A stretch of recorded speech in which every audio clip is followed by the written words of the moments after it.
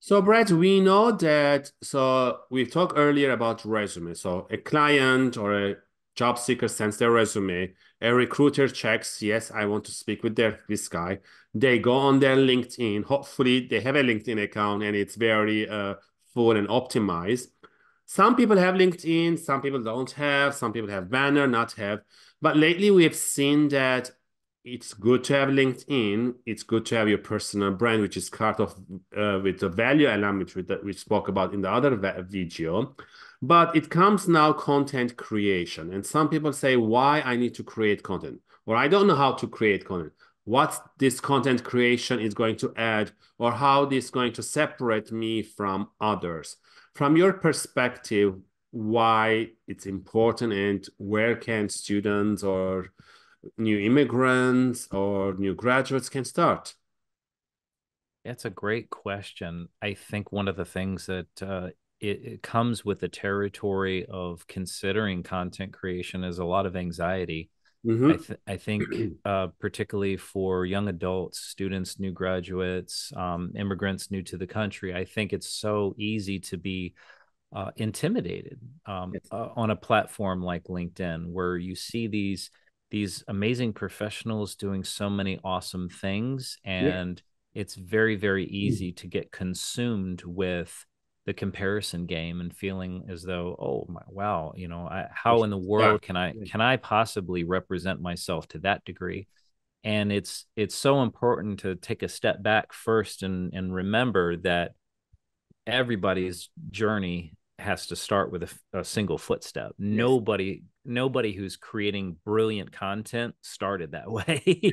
they had zero followers or zero comments. Exactly, exactly. So we all need a starting point. Yeah. Um, but in terms of of content creation, what I love to tell uh, the the clients that I work with is, you know, really start with dipping your toes in the water. Start yeah. with maybe just a comment. Start a you know with doing something that's that's pretty easy that's yeah. that's not a heavy lift if you find a, a great article or a great post from someone you know just provide just your take on it just yeah. a little bit of an added perspective just to get a sense of what it feels like to to throw your perspective into the mix um, in terms of for the the active job seeker i think it's it's a game changer and it really really can be because it it helps in both aspects of job search i think one of the the biggest is that it provides uh, for those that are actively looking for position those are in the active stage yes. it prov- it provides a great you know trail mm-hmm. that that these uh, prospective hiring managers can use to say, "Oh, yeah, this this person's credible. They have uh, this is something that they care about. This is something that they post about. This is, yes. you know, and and you're giving them assets to be able to validate your credibility as a candidate. Yeah. And I I think that that's so important. And and it will differentiate you. And that was another thing that you mentioned yeah. too. It differentiates you from other competitors who aren't using that, who aren't yeah. taking advantage of that.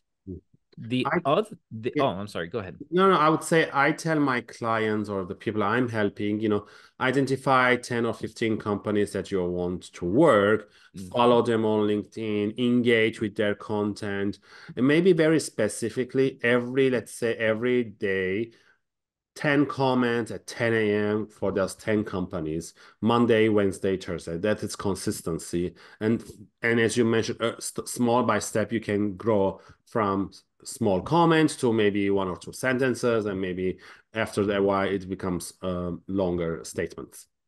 Mm-hmm. I love it. I love it. And and that is, I mean, it's it's a a, a slow progression of developing yeah. comfort and you know feeling as though you're developing your voice and I, I i love that. I think the the last thing that i would just say to to kind of add on to this is that when when you get into a flow of creating content whether big or small whether it's it's just a, a, a small little comment on a post or it's something that you are creating maybe you're doing an entire article or or something of that nature or a video or you know audio content it could be any number of different things that, that you're creating but the other advantage to doing that is you can also create a community of people who care about what you care about believe what you believe um, are inspired by what you put out there that can lead you to opportunities. Yes. And i mean i mean uh, what a perfect example of that than than this. This is how we got connected yeah. you know? Uh, we both share very similar um, passions and, and interest and we communicated through linkedin here we are yeah. yeah that's what happened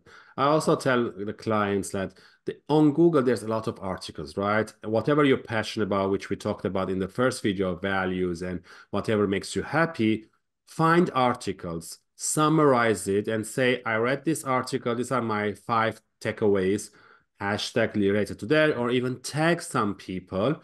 And then maybe every Friday at 5 p.m. you do this.